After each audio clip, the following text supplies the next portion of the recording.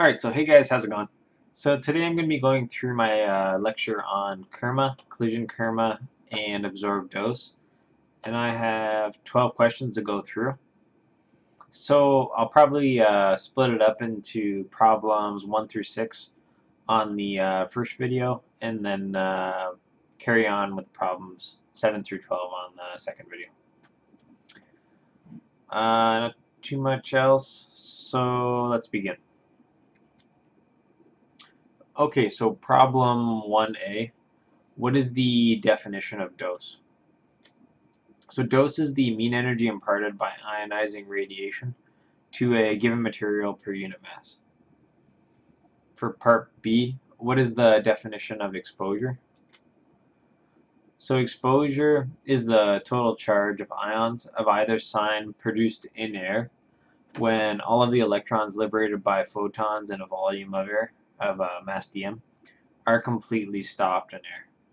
So be another. Uh, so be careful with those definitions. Uh, there are some particular aspects.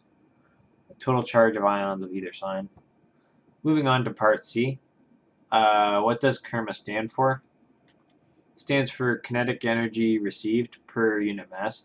There are some um, some people will write uh, that KERMA stands for uh, different different words. I mean, this essentially is my favorite. So, uh, but there are some uh, depending on the textbook, they'll write uh, that KERMA stands for different things. Uh, for D, where does KERMA occur? Uh, it occurs at a point. Now for E, uh, what is mu TR over rho? And then give the units. So mu TR over rho and mu EN over rho. Um, after a while, the definitions will be intuitive. But um, notice that uh, I'm giving the definitions with respect to uh, the mass attenuation coefficient. So, um, so yeah, so it's the mass energy transfer coefficient.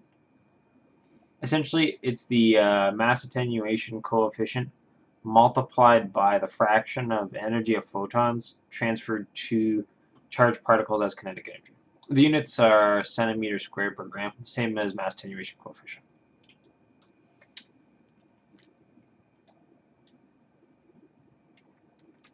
The mass energy absorption coefficient, it's essentially the mass energy transfer coefficient minus the average fraction of secondary electron energy lost by radiative interactions, which is typically a bremsstrahlung, but also uh, in flight annihilation. Uh, they all have the same units, cm squared per gram. So moving on to problem two. Uh, what is the formula to calculate KERMA? It's the uh, energy fluence times mu TR over rho. What is the formula for uh, collision KERMA? It's the energy fluence times mu En over rho. Uh, now, the energy transferred to electrons by photons essentially it can be expended in two ways by uh, collision interactions or radiative interactions. So moving on to uh, part C, what is collision kerma? Essentially, it's when the uh, electrons dissipate their energy by the collisional interactions, typically ionizations. What is radiative kerma? It's when electrons dissipate their energy by radiative interactions, like Bremsstrahlung. For E, what are the units of kerma? It's the same units as uh, dose. So joules per kilogram or gray. So here's some uh, nice diagrams here, nice nice pictures, and we'll put on some labels. So for problem three, uh, part A, in figure one, which is this figure, label kerma, collision kerma, and uh, radiative kerma. So where's kerma? Happens at a point. Just right at that location. Where does a collision kerma take place? Along the uh, red electron. And where is there radiative kerma? It's a photon uh, releasing off of the electron. Now in figure 2, which is this figure, uh, where is there Compton interaction taking place? So it occurs at A, right? Photon comes in, gets scattered off, inter uh, and then uh, interaction electron. And where is there a delta particle? happens at C, this location. Uh, for 3, where is there Bremsstrahlung? It occurs at B, right? This is Bremsstrahlung. And last part, uh, C. So in figure 3, where is there exposure? At this uh, blue location. That's where the exposure is. So let's move on to problem 4. So with problem 4, um, I'm going to show some, some plots. And uh, they're very easy to um, like overlook when you're studying the material um, but they happen to be um, like this. This the the plots within problem four are very common questions um, for uh, program material or uh, board exams or any other exams for that matter. So let's go through it. So for problem four, part A, uh, draw a plot of log Kerma and dose versus depth with no attenuation of the photon beam. So notice here you have the buildup region. This is a log uh, Kerma dose. So the, the log part isn't in there. As a function of depth, notice that uh, Kerman, Kerma and dose are equivalent past the buildup region. This is the uh, goes under equilibrium. For part B, uh, for a photon beam with attenuation, state which measurement is the largest uh, to smallest with respect to Kerma dose and collision Kerma with increasing depth. So it goes um, dose Kerma and collision Kerma. I'll, I'll show you uh, better with uh, part C. So draw a plot of log Kerma dose versus depth with attenuation of the photon beam. So what would the plot look like? So this once again it's log uh, Kerma dose versus depth. Uh, notice that uh, dose here builds up at the buildup region and then uh, carries on with transient equilibrium uh, along with Kerma. Um, now, so if we were to say, um, I'm just looking back at uh, part B, which measurement is the largest for Kerma dose including Kerma? It would be, in this is uh, non-attenuation. Sorry, this is with attenuation. So it would be uh, dose, Kerma, and collision Kerma. Would be just slightly under Kerma, right? Because there's uh, collision Kerma. Kerma is uh, equal to collision Kerma and radiative Kerma. The uh, collision Kerma would uh, it would run parallel to Kerma. Now for uh, part D, state how dose is related to collision Kerma uh, with increasing depth um, in the case of uh, where there is attenuation of the photon beam. So essentially, um, when there is attenuation of the photon beam, you're not. It's not uh, charge particle equilibrium. It's not. It's not radiation equilibrium it is transient. Uh, it's TCPE, transient equilibrium. So the relation is going to be uh, dose is equal to uh, collision Kerma. Uh, this is E to the exponent. Uh, now this is the effective attenuation coefficient with uh, TCPE. And the x is the mean distance the secondary charge particle uh, carries their energy in the direction of the primary beam while uh, depositing it depositing it as dose. So that's it's quite a definition. so moving on to problem five. So what is the formula for relating mu en over rho with mu tr over rho?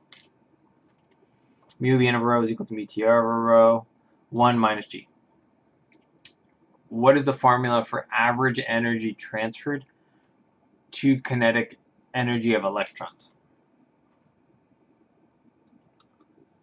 So the average energy transferred to kinetic energy of electrons equal to mu t over mu times, this is the uh, photon energy, the initial photon energy. per C, oh, uh, of course, uh, these quantities mu tr, mu, mu tr over rho, these are all going to be from tables essentially, right? You're going to look these up in the, uh, the tables in Attix or whatever textbook. Now moving on to C. Uh, what is the formula for the mean energy absorbed per interaction? So it's equal to mu en over uh, mu times the initial photon energy. Let's do some uh, quick calculations with these. And I've included the uh, quantities from tables along the right-hand side. So moving on to D. Uh, so let's for a 10 MeV photon beam incident on water, let's calculate the ETR, which is the average energy transfer to kinetic energy of electrons.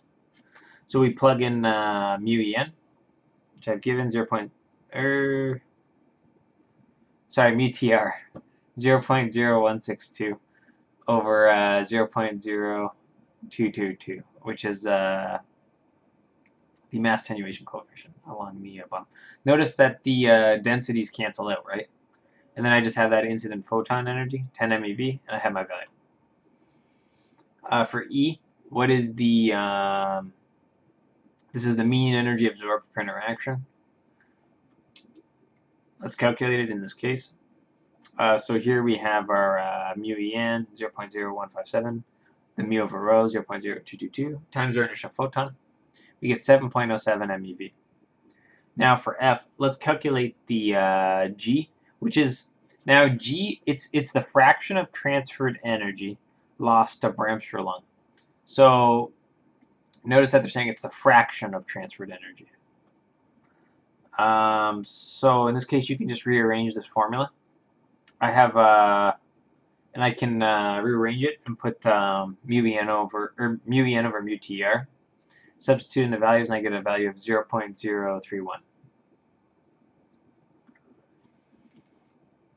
Now, also notice that it's unitless, right? Because um, both of these have units that cancel out, so G technically the quantity is unitless.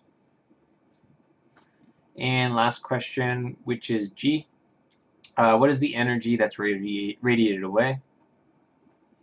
It's essentially um, 7.30, which is uh, the average energy transferred to kinetic energy of electrons minus the mean energy absorbed per uh, interaction. And the answer is 0.023 MeV.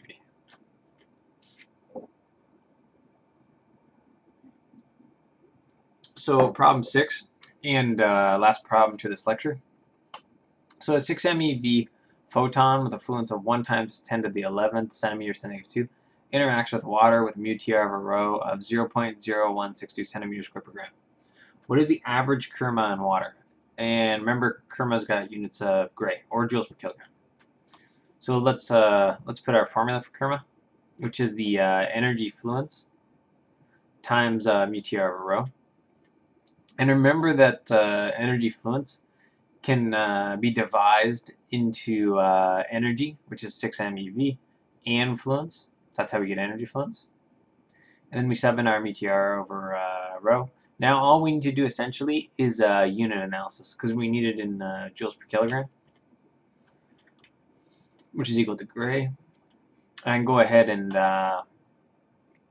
take these same quantities, uh, multiply 1,000 grams to for one kil one kilogram, and uh, uh, 1.602 times 10 to the negative 13 joules for MeV to uh, form unit analysis for 6 MeV to convert to joules. And I get a final answer of 1.56 uh, joules per kilogram. So uh, that's it for this lecture uh, problems 1 through 6. And I'll see you on the uh, second lecture, problems uh, 7 through 12. Thank you. Bye.